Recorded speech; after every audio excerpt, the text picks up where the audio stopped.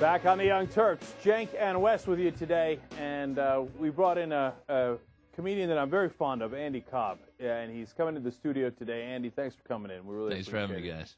And uh, Andy's put together a video on David Vitter. It's a very serious video, and I need you to take it seriously, okay? Uh, we're going to watch it first, and then we'll come back and talk to Andy about it.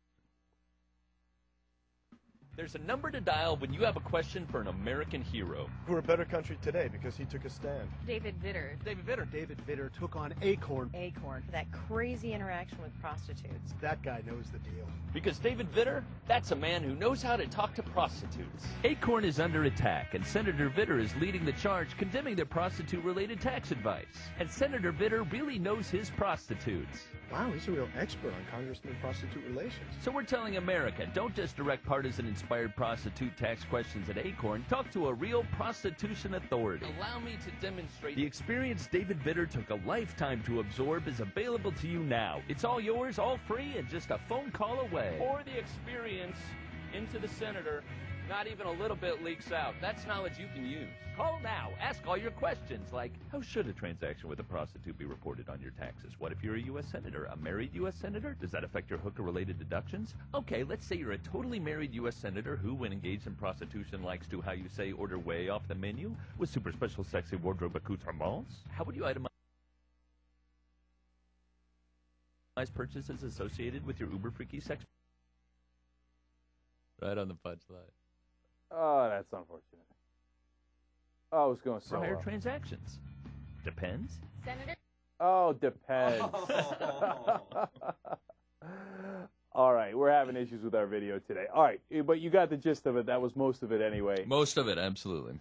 So, Andy, that's funny stuff. So, um, now, why the Acorn Vitter connection? How do they connect with prostitutes? You know, it's it's uh, it's a good question because it's really not about the prostitutes. I think you know we can talk about David Vitter and prostitutes all day, and certainly that's a worthwhile topic. But it's really you know I, I don't think anyone would uh, would fault a senator for his prostitutes. As a matter of fact, I would say let's get them prostitutes. They need to be relaxed if they're going to make policy decisions. If you're going to have sex, might as well do it. Uh, we could call it the pubic option. Uh, it's a chance for senators to uh, relieve their stress. That's not the issue, but the issue is hypocrisy. And uh, it strikes David Vitter on a couple of different levels to me. Is that he's accusing Acorn of having these interactions, inappropriate interactions with prostitutes. And who should know better about inappropriate interactions with prostitutes than Senator David Vitter? But Andy, the funny thing is that uh, Vitter's uh, accusing Acorn have uh, wrong interactions with fake prostitutes. Right? Absolutely, absolutely. Okay, now, so would it have been better if it was real prostitutes, like the interactions he had? Well, you know, uh, it's it's a really good question, and I actually uh, I don't know where that ethical line is, but I know it's there somewhere. Uh, surely, if you're interacting with a fake prostitute, that is a lesser crime than interacting with a real prostitute. And then what you do with a prostitute is your business. Uh, Acorn certainly uh, consulted them on some sort of tax-related issues. Uh, if you were to take it a step further and actually make some uh, prop or wardrobe purchases as a result of your interactions with a prostitute, how do you itemize that uh, as a deduction? Uh, what what is the role of of these props that David Vitter may or may not have? All depends, if you will.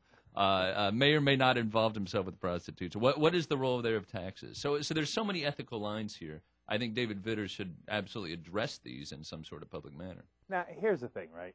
So uh, his hypocrisy is obviously through the roof. I, that diaper stuff, honestly, never got proven in my mind. Absolutely not. Okay, but uh, but the DC madam, he admitted, there's no question, he was with a real prostitute. Wes, I want to ask you real quick. I mean, wh- I mean, what? I'm an expert on prostitutes. Uh, more of a consultant. More of a consultant. So I mean, no, but what are we supposed to do with David Vitter? I mean, here's this guy who this. I mean, he's quote unquote breaking the law. I don't care about that law, right? But he comes back, gets a standing ovation. Now he has the gall to be the number one senator going after Acorn for having deals with dealings with fake prostitutes. I mean, what? But is there any recourse, or that's what do you What do you mean? What do you see as the problem in this? Seriously, what? What? just you know your regular Republican hypocrisy, and you're Eh. 100% used to it, and that's like no, this, look. People have this. They've got a huge blind spot, and there's nothing you can really do to illuminate it for them. You're like, yeah, but he went to prostitutes. They'll be like, no, you know, sometimes people sin, You but know, he's fighting for God. It's a good point, Wes. I'll tell you that there there is one thing that I think people can do about it. And that is actually dial David Vitter's office number and just ask him, uh, you know, straight up, do you, do you or your aides want to talk to me about, and just tell us everything that you know about I'm trying to negotiate a deal right now. What should I do? Should it be 20% up front, 30% up front? When do I pay? What's a reasonable price? Wh- wh- What's a good way to interact? What is the protocol? S clearly, he didn't like the way that Acorn went about the prostitute No. relations. He had issues with that. So do tell.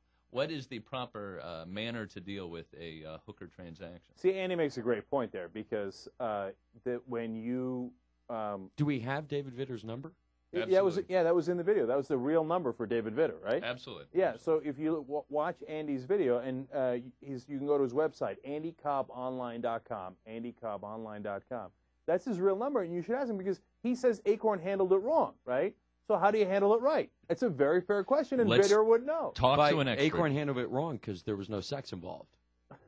So that's that was the first problem right there. Uh, first of all, much less joyful transaction than uh, Much less joyful. Yeah, yeah, yeah. There you go. So, and there it is, 202-224-4623. Call up Congressman Vitter's office and ask him, how do I properly handle a prostitute? Uh, because I know Acorn did it wrong and Senator Vitter did it right. And I'll tell you what, uh, I, I've made that call, and I know uh, many people have. They've left a lot of comments on the video and whatnot. And you may or may not get the answers you're looking for. I can't promise that, but I will pr- promise that you will feel better after the call. If you're upset about prostitution, hypocrisy, uh, the issue of uh, uh, same sex marriage, which David Vitter opposes because he's so uh, adamant about defending marriage, you'll feel better about all these issues once you ask him about his prostitution knowledge. God, the sex stuff always just drives me crazy with these people. Always, always. Just All right. en- just enjoy it.